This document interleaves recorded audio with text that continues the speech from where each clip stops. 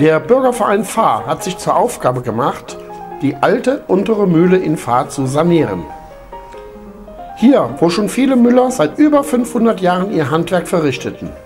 Am 10. Juni 2011 erwarb der Verein die untere Mühle nebst Wohnhaus. Das Wohnhaus soll demnächst abgerissen werden und dort wird dann ein moderner Dorfplatz entstehen. Aber erst mussten viele fleißige Hände die untere Mühle und das Wohnhaus von Unrat bereinigen.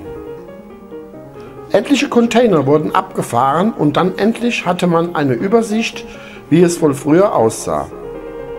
Die untere Mühle wird nun abgestützt und dann kann das Wohnhaus abgerissen werden. Dies soll zu Pfingsten fertig sein. Dann geht es weiter an der Mühle.